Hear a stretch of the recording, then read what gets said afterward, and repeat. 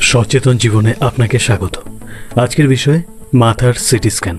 মাথার CT scan বা computer tomography হলো একটি উন্নত মানের এক্স রে পদ্ধতি, যা মস্তিষ্ক, খুলি এবং মাথার অন্যান্য ক্ষেত্রগুলির থ্রি চিত্র তৈরি করার জন্য এবং অত্যন্ত জটিল রোগগুলি নির্ণয়ের জন্য ভীষণভাবে উপকারী একটি পদ্ধতি।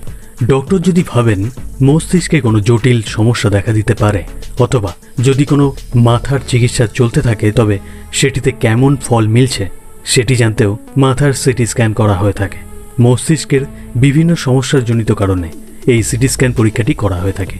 বিশেষত মাথায় আঘাত লাগা, মস্তিষ্কে রক্তকরণ বা রক্ত জমাট বাঁধা, হাড়ের ক্ষয় বা ফ্র্যাকচার, স্ট্রোকের লক্ষণ দেখা দিলে, সম্ভাব্য মস্তিষ্কের টিউমার বা চিকিৎসার পর মস্তিষ্কের টিউমার সংকুচিত হয়েছে কিনা সেটা দেখার জন্য জন্মগত ত্রুটি মূল্যায়ন করতে, হাইড্রোসেফালাসের মতো রোগ নির্ণয় করতে, কোনো তরল মস্তিষ্কে জমে আছে কিনা সেটা দেখতে, ভেন্ট্রিকেলসের বৃদ্ধি হচ্ছে কিনা সেটা জানতে একটি মাথার সিটি স্ক্যানের প্রয়োজন হতে পারে।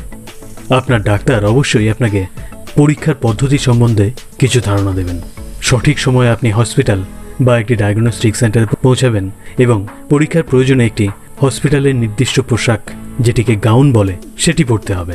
শরীরে থাকা কোনো অতিরিক্ত বস্তু যেমন গহনা, ঘড়ি বা অন্যান্য যে কোনো ধরনের অলংকার খুলে রাখতে হবে, কারণ এগুলি পরীক্ষায় বাধা সৃষ্টি করতে পারে। নির্দিষ্ট সময়ে আপনাকে পরীক্ষার জন্য পরীক্ষার ঘরে নিয়ে আসা হবে। এখানে রাখা সিটি স্ক্যান মেশিনটি অনেকটা বড় একটি ড্রামের মতো, যেটির মাঝখানে একটি বড় গোল আকারের জায়গা আছে, যেখানে একটি সরু লম্বা টেবিল ঢুকে যেতে পারে। এই ঘরের সামনে আরেকটি ঘর থাকবে যেখানে একজন টেকনিশিয়ান মেশিনটি অপারেট করবেন।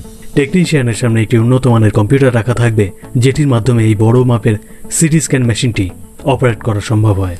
পরীক্ষার চলাকালীন সময়ে যদি আপনার কোনো রকমের শারীরিক সমস্যা দেখা দেয়, তবে আপনি সরাসরি টেকনিশিয়ানের সাথে ইশারায় কথা বলতে পারবেন। সমস্যা হলে পরীক্ষাটি সেখানেই বন্ধ করা হবে। যদিও তেমন কিছু সমস্যার সম্মুখীন হতে হয় না। পরীক্ষার সময়ে তিনি আপনাকে কিছু নির্দেশ দিতে পারেন, যেমন শ্বাস ছাড়া অথবা নেওয়া এছাড়াও, যদি পরীক্ষার সময় রোগী সামান্য নড়াচড়া করেন, তবে সমস্যা হওয়ার কারণে তিনি শান্ত থাকার নির্দেশ দিতে পারেন।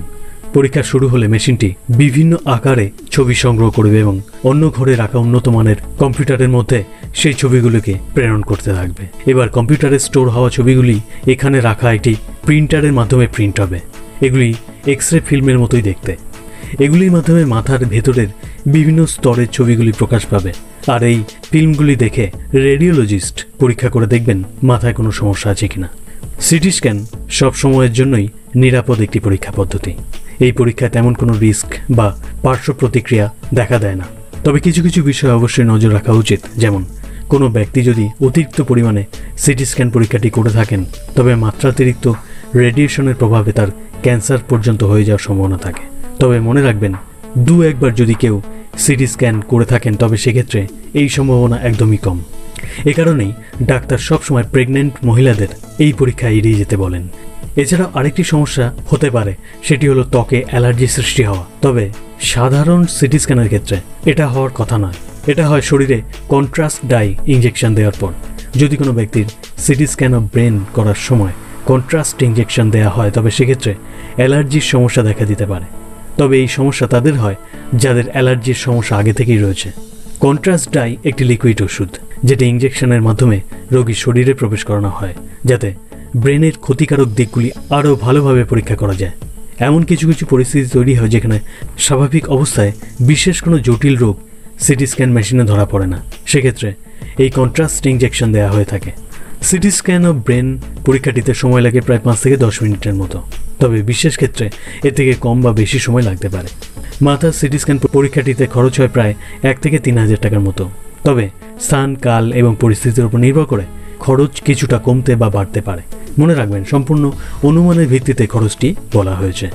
যেহেতু পরীক্ষাটি পাঁচ থেকে দশ মিনিটের মধ্যে সম্পন্ন হয়ে যায়, আর যেদিন পরীক্ষার জন্য উপস্থিত হন, উক্ত দিনই পরীক্ষাটি সম্পন্ন হয়, তাই পরীক্ষাটির পরে রোগী খুব স্বাভাবিকভাবেই বাড়ি ফিরতে পারেন এবং স্বাভাবিক কাজকর্ম করতে পারেন।